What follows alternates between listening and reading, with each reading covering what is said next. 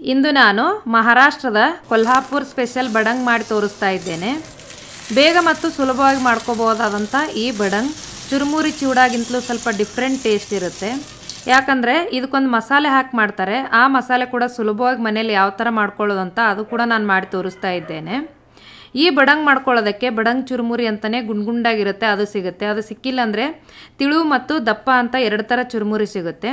ಅದರಲ್ಲಿ ನೀವು ಸ್ವಲ್ಪ ದಪ್ಪ ಇರೋದನ್ನು ತಗೊಳ್ಳಿ. ಅದರಲ್ಲಿಯೂ ಕೂಡ ಈ ಕೊಲ್ಲಾಪುರ ಮಹಾರಾಷ್ಟ್ರ ಸ್ಪೆಷಲ್ ಬಡಂಗ್ ಮಾಡ್ಕೋಬಹುದು. ಹಾಗಾದರೆ ಬನ್ನಿ, ಈ ಖಾರ ಖಾರ ಸಿಹಿ ಹುಳಿ ಮಿಕ್ಸ್ ಕೊಲ್ಲಾಪುರ್ ಬಡಂಗ್ ಮಾಡೋ ವಿಧಾನ ನೋಡ್ಕೊಳ್ಳೋಣ. ಆದರೆ ಅದಕ್ಕೂ ಮೊದಲು ನಮಸ್ಕಾರ. ಪಾಕಶಾಸ್ತ್ರ ಚಾನಲ್ಗೆ ಸ್ವಾಗತ. ನಾನು ಸುರೇಖಾ ತಳ್ವಾರ್ ನಮ್ಮ ಚಾನಲ್ಗೆ ಸಬ್ಸ್ಕ್ರೈಬ್ ಮಾಡಿಲ್ಲ ಅಂದರೆ ದಯವಿಟ್ಟು ಸಬ್ಸ್ಕ್ರೈಬ್ ಮಾಡಿ, ಹಾಗೆ ಪಕ್ಕದಲ್ಲಿರೋ ಬೆಲ್ಲೈಕನ್ ಪ್ರೆಸ್ ಮಾಡಿ. ಬೆಲ್ಲೈಕನ್ ಪ್ರೆಸ್ ಮಾಡೋದ್ರಿಂದ ನಮ್ಮ ಹೊಸ ವಿಡಿಯೋಗಳ ನೋಟಿಫಿಕೇಷನ್ ನಿಮಗೆ ಬರುತ್ತೆ. ಬಡಂಗ್ ಮಾಡೋದಕ್ಕೆ ಬಡಂಗ್ ಚುರುಮುರಿ ತೊಗೊಂಡಿದ್ದೀನಿ.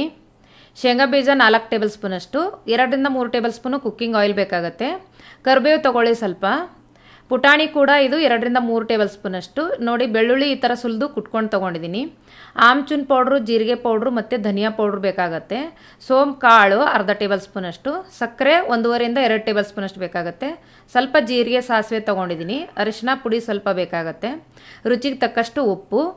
ಎರಡು ಟೇಬಲ್ ಸ್ಪೂನಷ್ಟು ಅಚ್ಕಾರದ ಪುಡಿ ತೊಗೊಂಡಿದ್ದೀನಿ ನೋಡಿ, ಈ ಥರ ಬಡಂಗು, ಕುರ್ಮುರ ಅಂತ ಸಿಕ್ಕಿದೆ ನಾನು. ಕೊಲ್ಲಾಪುರ ಸ್ಪೆಷಲ್ ಚುರುಮುರಿನೇ ಸಿಕ್ಕಿದೆ, ಅದನ್ನೇ ತಂದಿದ್ದೀನಿ ಇದು ಎಲ್ಲ ಕಡೆ ಮಾಲ್ಗಳಲ್ಲಿ ಅಲ್ಲೂ ಇಲ್ಲೂ ಸಿಗುತ್ತೆ. ಇಲ್ಲಾಂದರೆ ದಪ್ಪ ಚುರುಮುರಿಯಲ್ಲಿ ಕೂಡ ಮಾಡಬಹುದು.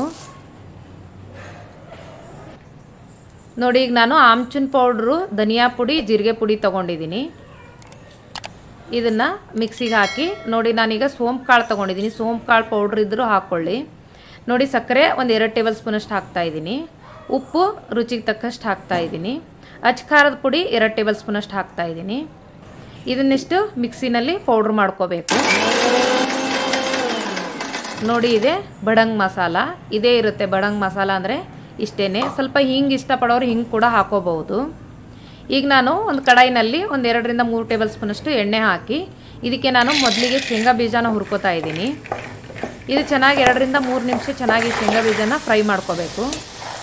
ನೋಡಿ ಈ ಥರ ಮೇಲೆ ಸ್ವಲ್ಪ ಸಿಪ್ಪೆ ಬಿಟ್ಕೊಂಡಂಗೆ ಆಗಬೇಕು. ಅಲ್ಲಿವರೆಗೂ ನಾವು ಇದನ್ನು ಚೆನ್ನಾಗಿ ಫ್ರೈ ಮಾಡ್ಕೋಬೇಕು. ಈಗ ನಾನು ಅದೇ ಎಣ್ಣೆಯಲ್ಲಿ ಸ್ವಲ್ಪ ಸಾಸಿವೆ ಜೀರಿಗೆ ಹಾಕ್ತಾಯಿದ್ದೀನಿ ನೋಡಿ, ಬೆಳ್ಳುಳ್ಳಿ ಈ ಥರ ಅರ್ಧಂಬರ್ಧ ಸುಲ್ಕೊಂಡು ಪೂರ್ತಿ ಜಜ್ಜಬಾರ್ದು ಈ ಥರ ಸ್ವಲ್ಪ ದಪ್ಪ ದಪ್ಪನೇ ಜಜ್ಕೊಂಡು ಹಾಕೋಬೇಕು. ಅವಾಗಲೇ ಚೆನ್ನಾಗಿರುತ್ತೆ. ಚಿವಡಕ್ಕಾದರೂ ಇದೇ ಥರ ಹಾಕೊಳ್ಳೋದು, ಬಡಂಗ ಕೂಡ ಇದೇ ಥರ ಹಾಕೋಬೋದು.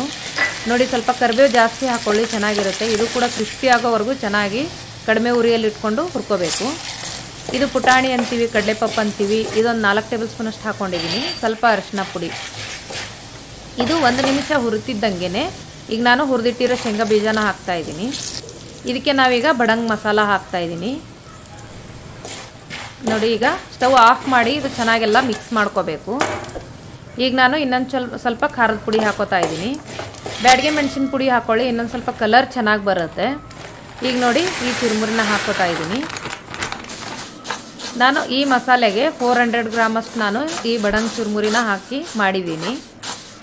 ಅರ್ಧ ಕೆ ಜಿಗಿಂತಲೂ ಸ್ವಲ್ಪ ಕಡಿಮೆ ಇದೆ ಇದು ಚುರುಮುರಿ. ನೋಡಿ, ರುಚಿಕರವಾದ, ಟೇಸ್ಟಿಯಾದ, ಬಡಂಗ್ ರೆಡಿ ಆಯಿತು. ನೀವು ಕೂಡ ಟ್ರೈ ಮಾಡಿ, ಮಾಡೋದು ಸುಲಭ ಇದೆ. ಟೇಸ್ಟ್ ಕೂಡ ತುಂಬ ಚೆನ್ನಾಗಾಗತ್ತೆ. ಈ ವಿಡಿಯೋ ನಿಮಗೆ ಇಷ್ಟವಾದರೆ ಲೈಕ್ ಮಾಡಿ ಶೇರ್ ಮಾಡಿ ಸಬ್ಸ್ಕ್ರೈಬ್ ಮಾಡಿ, ಹಾಗೆ ಪಕ್ಕದಲ್ಲಿರೋ ಬೆಲ್ ಐಕನ್ ಪ್ರೆಸ್ ಮಾಡಿ. ಧನ್ಯವಾದಗಳು.